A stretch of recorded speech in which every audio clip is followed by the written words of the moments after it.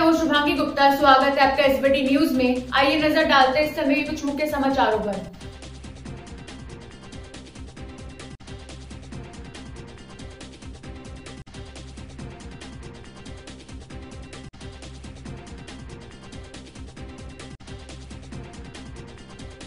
शनिवार से हो रही तेज बारिश के कारण जनजीवन हुआ बाधित। रेलवे यात्राओं पर भी हुआ असर, देखे रिपोर्ट।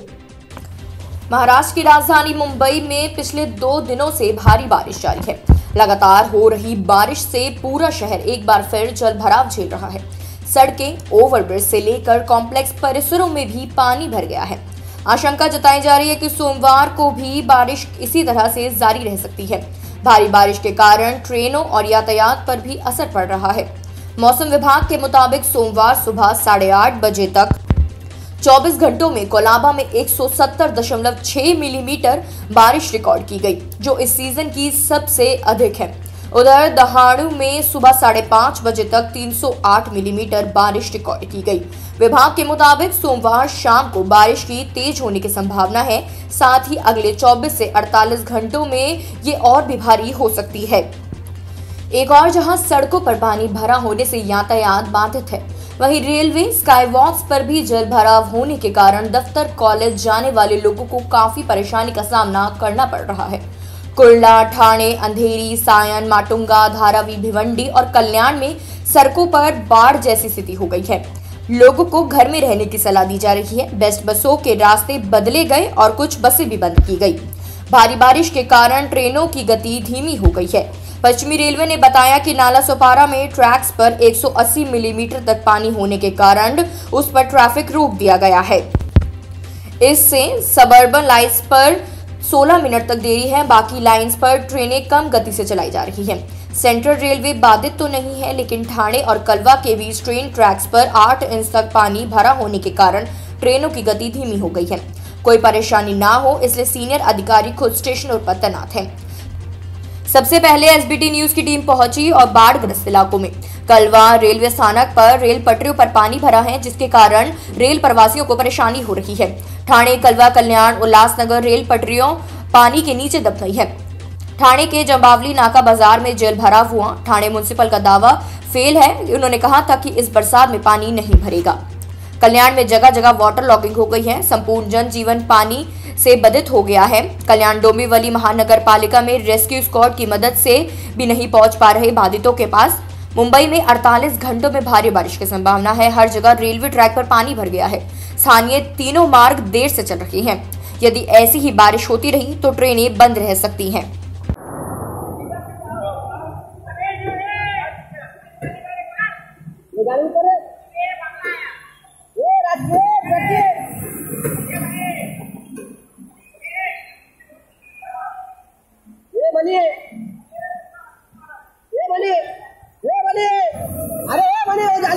जाली भगना दे जाली ले जाली ले ऊपर जल्दी। अरे ये बनी जाली जा रहा दे अरे,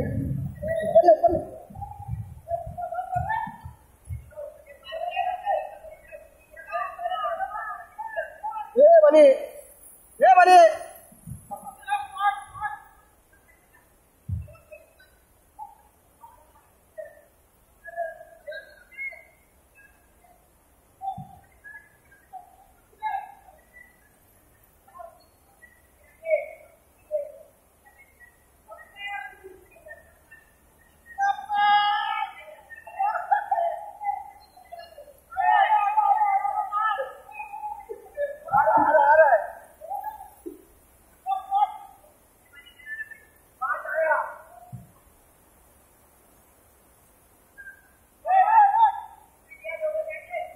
ले ऊपर ले ये बनी ये बनी ये आम बोलेगा ले वो आम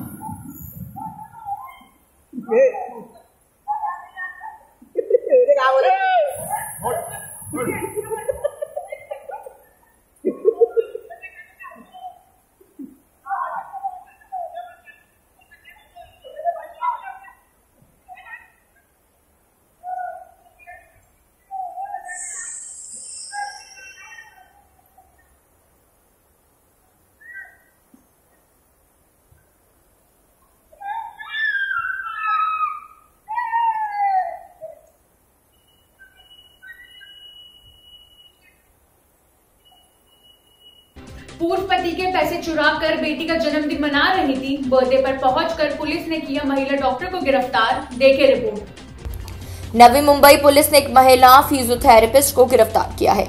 आरोप है कि फिजियोथेरेपिस्ट ने अपने पूर्व पति के घर से 55 लाख रुपए चुराए। इन चोरी के रूपों से वह अपनी बेटी का सातवां जन्मदिन मना रही थी।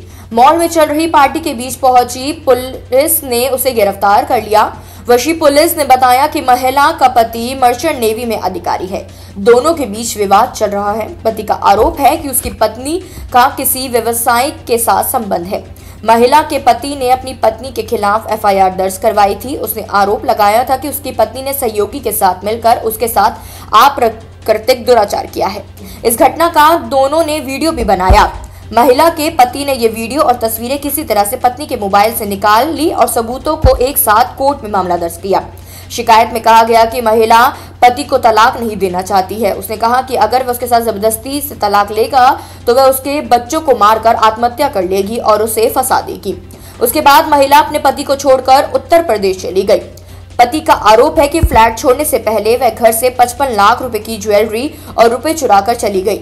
एसआई सरिता मुसाले ने बताया कि ठाणे सेशन कोर्ट ने महिला को अंतरिम जमानत खारिज कर दी है जिसके बाद उसे गिरफ़्तार करके न्यायिक हिरासत में जेल भेज दिया गया है।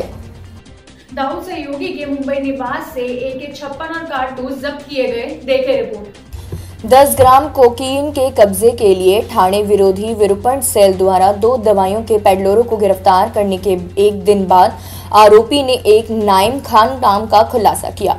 जो अंडरवर्ल्ड डॉन दाऊद इब्राहिम के गिरोह का सदस्य बनता है। इसने पुलिस ने शुक्रवार को बोरूर नगर, गोरेगांव में नेम खान के घर पर हमला किया और एके छप्पन राइफल, पिचानवे लाइव बुलेट, नौ मिनी पिस्तौल को और दो पत्रिका जब्त की। दाऊद के सहयोगी के साथ बिल्डरों समेत अन्य उच्च प्रोफ़ाइल वाले लोगों के नाम भी इसमें शामिल थे। पुलिस को संदेह है कि हमले के दौरान जब्त किए गए हथियारों को उन्नीस सौ तिरानवे के बम विस्फोटों के संबंध में छोटा शकील द्वारा आपूर्ति की जा सकती है। ठाणे पुलिस आयुक्त परमवीर सिंह ने कहा कि पूछताछ के दौरान दवाइयों के पेडलर ने नेम खान के नाम खुलासा किया है। इसके बाद हमने खान के घर पर छापा मारा और सभी हथियारों को जब्त किया। हम अन्य लोगों को भी फ़ोन करेंगे जिनके नाम पर सवाल पूछने के दौरान आए थे। नाइम की पत्नी ने 35 वर्षीय यास्मीन खान को भी अब गिरफ़्तार कर लिया गया है। 2016 में पूर्व दाऊद इब्राहिम गिरोह सदस्य इकबाल अटरवाला की हत्या की साजिश रचने के लिए नाइम को चार अन्य लोगों के साथ गिरफ़्तार किया गया है। पुलिस ने कहा है कि अटरवाला को मारने का निर्देश शकील ने दिया था। नाइम वर्तमान में ठाणे जेल में दर्ज है।